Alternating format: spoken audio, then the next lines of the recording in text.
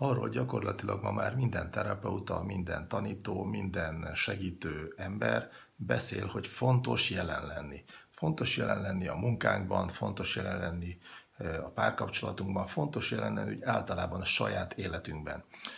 Például a párkapcsolatoknál is, amennyiben nem vagyunk jelen, és nem figyelünk a másikra, és nem teszünk jelentőséget erre a dologra, erre a kapcsolódásra, úgy bizony kevésbé vagyunk tudatosak ebben a témában, és nem úgy zajlanak az események aztán, ahogy mi szeretnénk. De amennyiben jelen vagyunk, úgy van esélyünk ténylegesen ott lenni, ténylegesen megélni a pillanatokat, és adott esetben mondjuk ténylegesen egy kielégítő helyzetbe jutni mondjuk szex során, amennyiben tényleg valójában jelen tudunk lenni.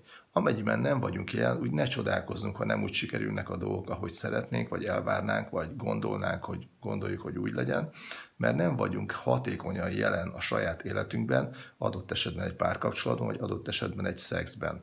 Tehát nézzük meg, hogy tudunk-e jelen lenni mondjuk a szexben, tudunk-e jelen lenni mondjuk a munkában, tudunk-e jelen lenni úgy általában a saját életünkben, és ezt milyen gyakran és milyen folyamatosan tudjuk fenntartani ezt a jelenlevés állapotot. Tehát vizsgáljuk meg, hogy jelen vagyunk-e.